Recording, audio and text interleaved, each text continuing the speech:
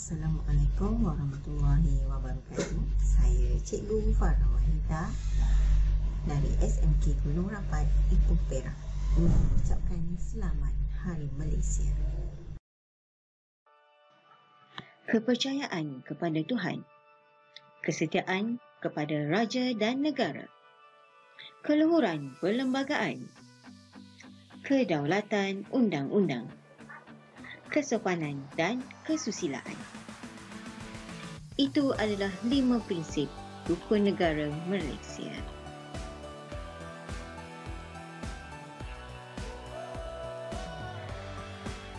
Alhamdulillah, dengan limpah izin kurnianya jua, kita dapat menyambut Hari Ulang Tahun Pembentukan Malaysia pada 16 September 2020 sebagai warga sebuah negara yang merdeka, berdaulat, demokratik, aman dan makmur.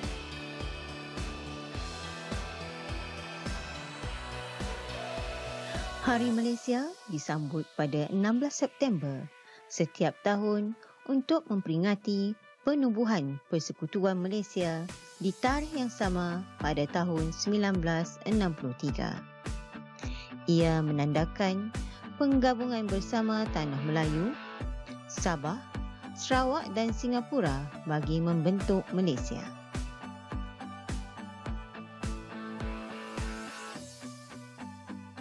Malaysia Prihatin merupakan tema bagi sambutan Hari Malaysia bagi tahun ini. Semoga negara kita terus aman dan sejahtera. Dalam masa yang sama, marilah kita semua berdoa agar dikekalkan momentum rakyat Malaysia untuk terus berjuang memerangi dan menamatkan rantaian penularan jangkitan COVID-19 di Malaysia.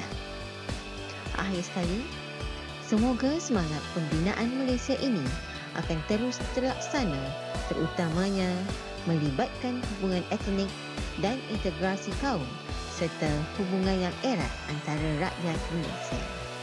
Jadilah warga negara yang mempunyai nilai jati diri, bertanggungjawab dan bertoleransi demi mempertahankan kemerdekaan dan kedaulatan negara kita. Selamat menyambut Hari Malaysia yang ke-57.